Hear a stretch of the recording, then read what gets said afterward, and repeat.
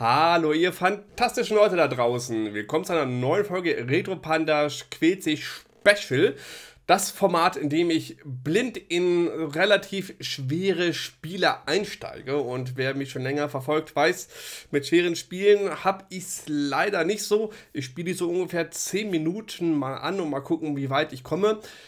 Die Spiele wünscht ihr euch nämlich zum Glück. Und heute gibt es einen Wunsch von äh, Loxagon und vom Farmerslide Bob. Und zwar habe ich dieses Video mal unter dem großen Thema Mega Man gestellt. Also erstmal spielen wir den ersten Teil auf dem NES und dann den fünften Teil auf den Game Boy mit der Mega Man-Serie an sich habe ich nicht so viele Berührungspunkte. Ich habe damals als Kind Dr. Wily's Revenge gehabt auf den Game Boy und das auch sehr ausgiebig und gerne gezockt, aber ich kam irgendwie nie so wirklich, wirklich weit, ehrlich gesagt. Und da bin ich mal gespannt, wie sich diese Teile schlagen und ich würde sagen, genug der langen Vorrede, fangen wir an. Dieser Teil hat jetzt also diese wirklich super lange und erfolgreiche Serie gestartet. Soweit ich weiß, hat das aber nicht, so, also schon einen guten Ruf, aber so richtig geht es glaube ich erst ab dem dritten Teil auf dem NES los, wo man sagt, okay, da haben wir einen Qualitätssprung oder war es der zweite Teil? Äh, ihr kennt euch da wahrscheinlich besser aus mit der Serie als ich. Auf jeden Fall ist der erste Teil, wird, soweit ich das mitbekommen habe, eher angesehen als, hey, hat die gute Grundlage geschaffen, aber so hunderttausendprozentig ist es noch nicht. Aber ich würde mal sagen, schauen wir mal rein. Ähm, wie natürlich bei Mega Man üblich, kann man die äh, Reihenfolge der Stages frei aussuchen. Ähm, ich frage mich, welches hier am einfachsten ist. Ich würde einfach mal Cutman nehmen. Weil, soweit ich das richtig im Kopf habe, war auch bei Dr. Wily's Revenge Cutman als Nummer 1 äh, Wahl gar nicht so verkehrt. Okay. Die Farbgebung ist natürlich sehr gewagt. Ich glaube, das White ist wirklich 1 zu 1 wie bei Dr. Wily's Revenge. Und äh, ihr habt natürlich die üblichen Fähigkeiten. Ihr könnt laufen äh, und schießen. Wobei äh, natürlich leider ihr nicht nach oben oder... Und... Boah! Alter! Sind die hartnäckig, die Gegner. Äh, und schießen könnt. Ihr habt natürlich eine Lebensenergie und eine Waffenenergie später. Indem ihr halt die Sonder... Alter! Boah, haben die ein fieses Pattern. Und das quasi gleich als ersten Gegner. Krass. Krass, krass. Aber auch hier hört man, die Mega Man-Serie ist ja auf jeden Fall für ihre gute Musik bekannt. Und äh, so hundertprozentig überzeugt mich das Liedstück hier nicht, aber das geht schon ins Ohr, ne?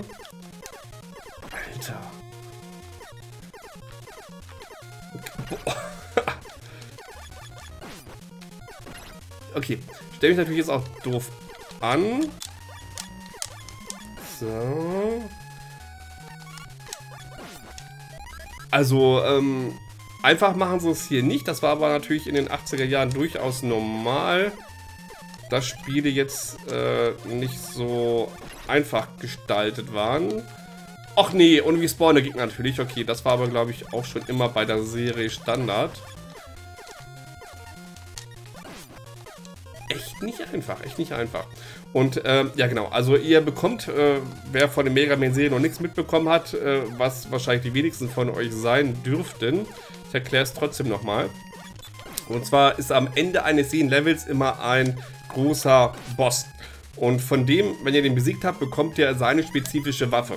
Und diese Waffe ist dann natürlich besonders effektiv gegen andere Bosse. Ne? Also ich sag mal so ganz grob zum Beispiel, ähm, wenn ihr eine Eiswaffe bekommt, dann solltet ihr vielleicht dann äh, als nächstes den Feuerboss eine, äh, einen Besuch abstatten, denn ne, äh, mit, mit Eis könnt ihr natürlich entsprechend Feuer löschen. So, jetzt guck ich mal. Also, so ganz blöd stelle ich mich gar nicht an. Also, ist ziemlich fies. Aber mit etwas Übung. Scheiße, okay. Also man kann Gegnern hier auf jeden Fall nicht weglaufen. Das merke ich schon mal. Was ist das? Ist das Lebensenergie? Weil die könnte ich gut gebrauchen. Also ich habe auch geguckt, das hat, ähm, ich nutze immer die Seite Game FAQ. Das hat schwierigkeitsgradmäßig 4 von 5 Sternen. Das heißt, es ist auf jeden Fall schon auf der oberen Ebene. Aber ich finde, dafür stelle ich mich gar nicht so doof an. Okay, es gibt es natürlich auch Slowdowns. Ist hier auf den alten Systemen nicht so unüblich, dass nehme ich mal an, wird auch hier auch an der Gegneranzahl liegen. Vier Gegner, die sich hier unabhängig bewegen, ist natürlich... Zack. Hey, vielleicht schaffe ich das Level ja sogar. Und wie war es, lieber Loxagon? Schöner Wunsch auf jeden Fall. Ich habe in den ersten Teil nie reingespielt. So viel zu meiner Motivationsrede. Okay, was haben wir hier? Also, mit den Dingern hier komme ich ja ganz gut klar. Ich weiß jetzt nicht, wie ich da jetzt hier hochspringe vernünftig. Okay, das geht. Dann muss ich hier... Also der Abschnitt hier ist durchaus schaffbar, weil man hier so ein bisschen strategischer vorgehen kann. Ist natürlich nicht verkehrt. Okay, was erwartet mich hier? Ich mache hier erstmal den hier weg. Okay, diese Slowdowns, die nerven hier natürlich jetzt etwas. Wobei das Spiel ist nicht in meiner Sammlung. Ich spiele das hier gerade mit einem Emulator. Ne? Das heißt, es ist natürlich immer so ein bisschen... Äh, ähm, hey, vielleicht liegt es am Emulator, aber mich würde es, ehrlich gesagt, nicht wundern, wenn das Spiel hier einige Slowdowns hätte. Ähm, also dieses Hochspringen und Schießen, äh, ne, A und B drücken, das habe ich natürlich auch schon äh, verinnerlicht, äh, was den Gameboy angeht. Weil, ja, okay, das Level ist auch nicht so schwer. Also, ich habe es mir ehrlich gesagt echt wesentlich schwerer vorgestellt, sagte er und starb. Aber, Rücksetzpunkt ist... Ja, okay. Der Rücksetzpunkt hier war es etwas... Ihr habt es gesehen, ich hatte da gar keine Zeit jetzt zu reagieren. Dass man da natürlich jetzt gleich sofort irgendwie Schaden reinkriegt, ist natürlich auch nicht so verkehrt. Ich finde hier von dem Level die Farbgebung her, ehrlich gesagt, so ein bisschen... Yeah. So das Türkise, ob man das jetzt so hätte unbedingt einsetzen müssen, hätte das NES vielleicht noch eine andere Farbpalette irgendwie äh, hergegeben. Ich weiß, ne, die Farben sind natürlich etwas eingeschränkt auf dem NES, ist klar. So war es halt. Aber Spielgefühl ist top. So. Macht Spaß. Nicht, dass ich hier noch zum Mega Man-Fan werde. Ich glaube, äh, da ein einigermaßen Full-Set von, von den damaligen Spielen äh, zu, zu bekommen, äh, das kostet.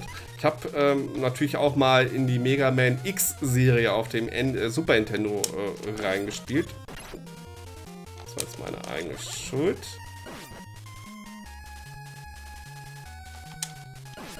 Ich glaube, ich umgehe das hier einfach. Ähm, was auch eine schöne Serie ist, die ist alles natürlich ein bisschen erweitert, hat natürlich noch ein wesentlich höheres Bewegungsspektrum. Shit, man kann sich ja nicht ducken. Ne, man ist natürlich, es ist das erste Spiel hier äh, aus der Serie. Äh, später Teilen können natürlich äh, noch, noch so schlittern und sowas. So, bloß ich... Uh. Freunde... Äh, das wollte ich hier vielleicht einsammeln. Ich glaube, dann kommt hier bestimmt gleich der Boss, oder? Ich bin gerade selber überrascht, wie gar nicht so doof ich mich anstelle. Okay, der ist fies. Gucken. Okay.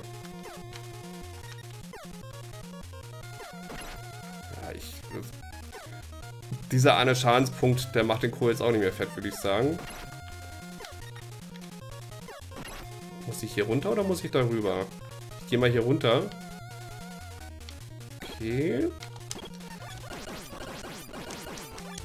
Ne, hier, hier wäre natürlich so, so... Boah, macht er viel Schaden. Hier wäre natürlich so, so, so eine Sch Schlitteraktion gar nicht so verkehrt. Ah, alles klar, das ist... Okay, es geht zum Boss. Hey! Ich hab's... Blind? Oder? Ist das der Boss? Weil normalerweise ist es doch vom Boss immer hier so ein...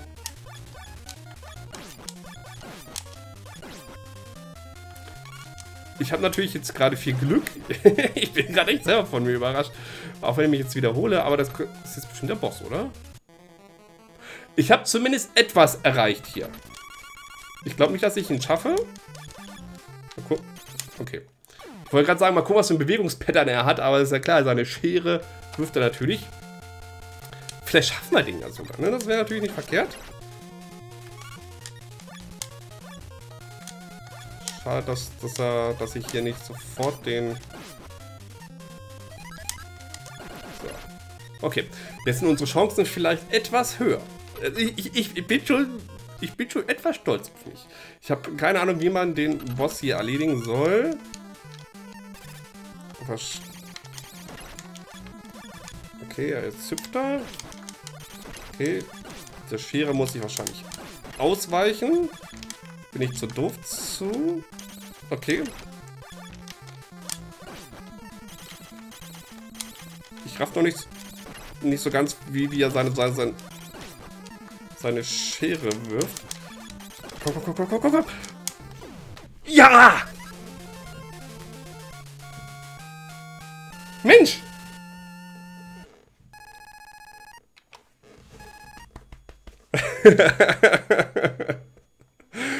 ich bin gerade echt so selber überrascht von mir, dass ich das geschafft habe.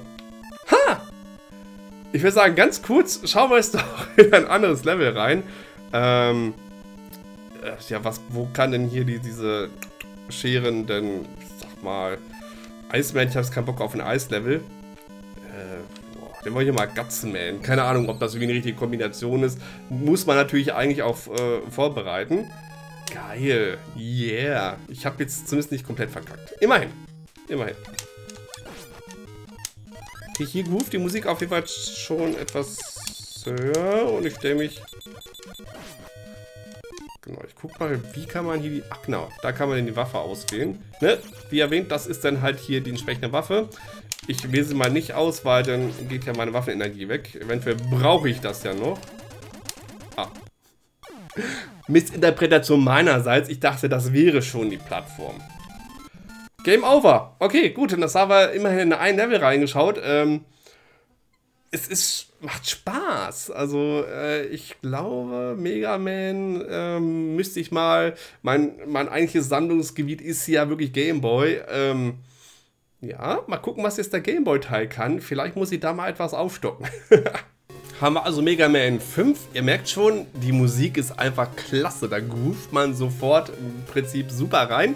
Ähm, das ist natürlich so ein bisschen Missinterpretation vielleicht. Also es gibt äh, zum Beispiel auf dem Gameboy Teile wie Mega Man Dr. Wily's Revenge, was so eine Eigenentwicklung für den Gameboy war. Dann kann man sich ja vielleicht denken, okay, diese Mega Man Teile gibt es ja 2, 3, 4 und 5, sind direkte Ports von der NES-Version. Soweit ich weiß.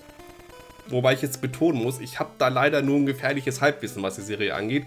Sind es aber nicht 1 zu 1 Portierungen, sondern so ein bisschen inspiriert davon, aber nicht 1 zu 1 portiert. Korrigiert mich, wenn ich da jetzt was Falsches gesagt habe. Äh, ist, glaube ich, soweit ich weiß, der letzte Teil. Okay. Ja, der Stage Select Bildschirm, der ist ein bisschen stylischer gemacht, aber gibt es hier einen Cutman? Nee. Nur vier Level, okay. Nehme mal ihn hier. Keine Ahnung, was für einer das ist. Also hier sieht man schon, da ist auf jeden Fall wesentlich äh, viel Zeit verstrichen. Mercury ist der Boss. Okay. Ne, das ist beides dasselbe. Ich muss mal gucken, ob man hier so schlittern kann oder sowas. Ich glaube nicht. Aber hier, hier sieht es ja natürlich schon das ist grafisch nochmal etwas wesentlich aufwendiger gemacht. Ich muss hier gerade etwas aufpassen. So, weil hier kommen überall diese Boxen runterkommen. Die kommen bestimmt runter hier, die Stacheln, ne? Okay, oder auch nicht.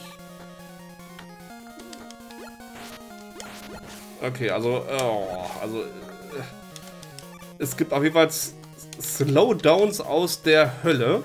Also in diesem Level scheint hier eher die Umgebung der Gegner zu sein, sage ich mal, und nicht unbedingt die Gegner. Ja, macht Sinn. Macht Sinn, Panda. Hier muss ich wahrscheinlich runter. Uh. Dann dachte ich, weil jetzt in den anderen konnte man ja immer zur Seite, dass ich jetzt so ein bisschen an die Seite lenke.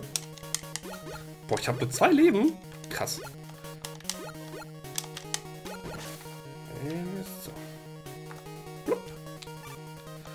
Also in meiner Sammlung befindet sich auch tatsächlich nur das Dr. Wily's Revenge, was ich damals hatte, weil die Mega Man Spiele auf den Gameboy, glaube ich, auch teilweise relativ teuer sind. Wobei natürlich äh, man bei Mega Man, beziehungsweise im Japanischen heißt es ja Rockman, wenn ich das richtig im Kopf habe, natürlich auch da auf die japanische Version zugreifen kann, weil viel Text ist hier nicht. Und soweit ich weiß, sind diese entsprechend günstiger. Ne? Gibt jetzt immer so in einigen Sachen, ähm, dass die japanische Versionen halt günstiger sind. Und wenn ihr das, das Spiel auf Modul haben wollt und die Sprachbarriere halt nicht allzu groß ist, dann könnt ihr da immer getrost drauf zurückgreifen. Was ist das denn hier? Ach, das wäre was zum Einsammeln. Das war noch der Rest vom Gegner. Ah, okay. Also A und B zusammendrücken, dann schlittert ihr. Uah. Okay, der portiert sich. Alter, das ist aber fies. Das Ey. Fuck. Weil hier dieses... Weil dieses Band natürlich sich bewegt. Das habe ich bei Gamefuck geguckt. Das hat nur Schwierigkeitsgrad 3 von 5. Das heißt, theoretisch ist es das NES-Spiel von der User-Bewertung ja schwerer als das. Finde ich persönlich jetzt aber nicht, ehrlich gesagt. Mag vielleicht auch mit dem Level irgendwie zusammenhängen.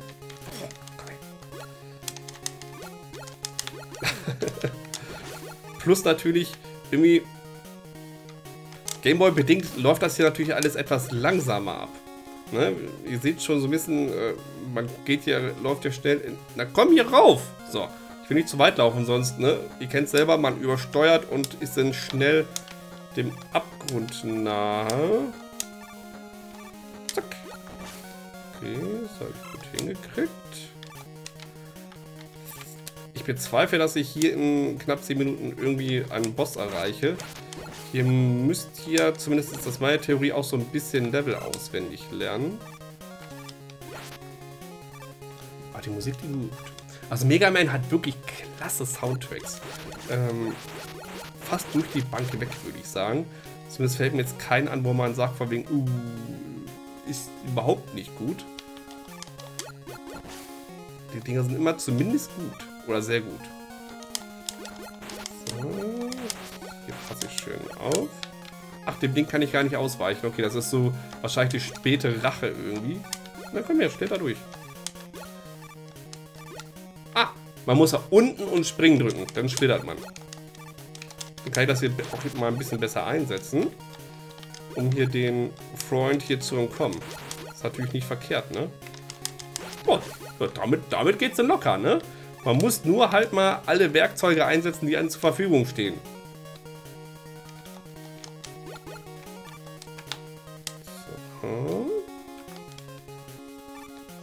Ich glaube, ich muss mich wirklich mal mehr diesen Mega Man-Spielen widmen.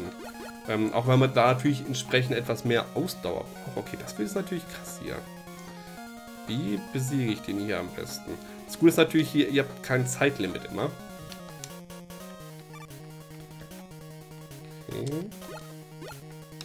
Ich muss ihn hier oben treffen, ne? Dann geht wahrscheinlich so nach unten. Zack, zack. Ja. Das wollte ich natürlich nicht. Ich wollte hochspringen, schießen und zurückgehen. Aber ich würde sagen, äh, wir schauen uns doch einfach mal ein anderes Level an, mit dass hier mal ein bisschen Abwechslung reinkommt. Aber das finde ich auf jeden Fall wesentlich schwerer. Hier, ich nehme mal hier den, den Freund hier mit, mit, der, mit der Kanone auf dem Kopf. Schadet nie, würde ich sagen. Die Mars. Uh. Bin ich gespannt. Das ist natürlich alles so ein bisschen mechanisch, ne?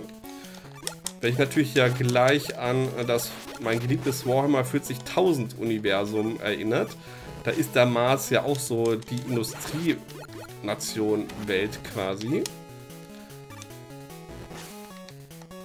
Daher passt das hier einigermaßen.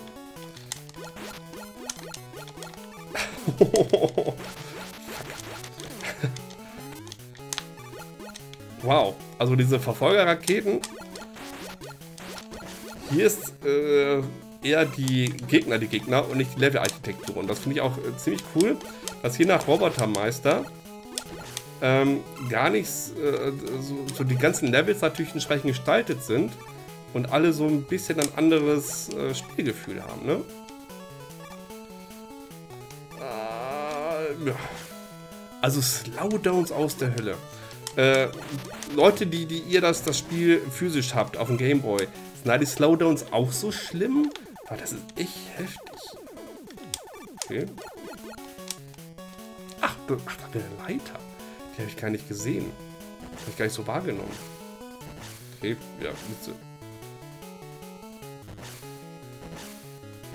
Ich warte mal lieber ab, bis der da irgendwie äh, so ist, dass ich dass ich ihn killen kann. Okay. Vielleicht nicht so. Vielleicht nicht so. So. Zack. Oh. Ich dachte, er schießt nur drei Raketen. Ich habe mich gerade verzählt. Äh.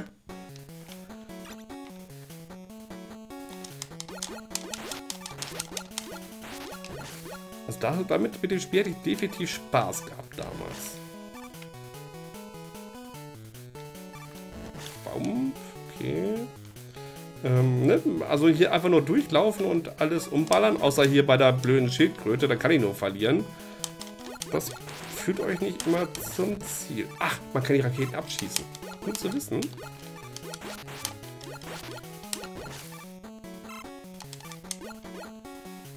So.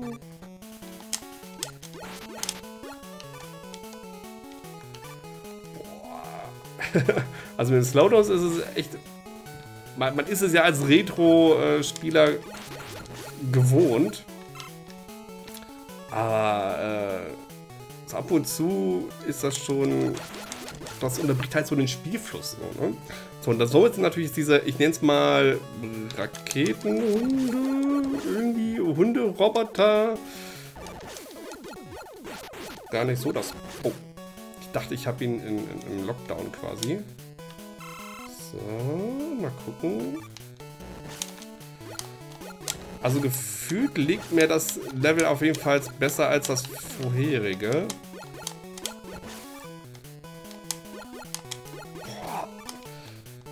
Okay, ich muss mich irgendwie ein bisschen besser auf das Pattern von dem hier einstellen. So.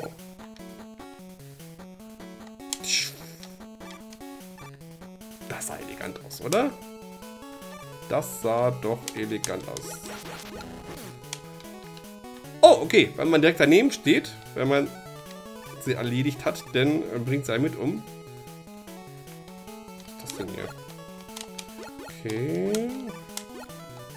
Muss ich mich hier wahrscheinlich die Plattform...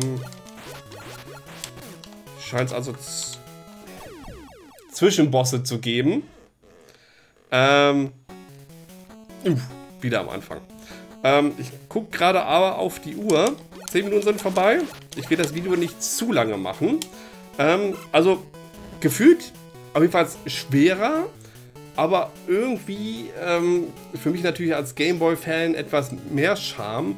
Eine Slowdowns, wie gesagt, wenn ihr mal die Erfahrung habt, ab in den Kommentare damit, würde mich mal interessieren. Und ansonsten würde ich sagen, habe ich mich, ich glaube, diese Folge gar nicht so schlecht geschlagen. Oder? Was meint ihr? Jedenfalls, ihr beiden, vielen Dank für eure Wünsche. Falls ihr auch Wünsche habt, egal ob 8 oder 16 Bit, ab in die Kommentare damit. Und äh, ich wünsche euch noch einen wunderschönen Tag, egal was ihr noch vorhabt, ihr fantastischen Menschen. Tschüss.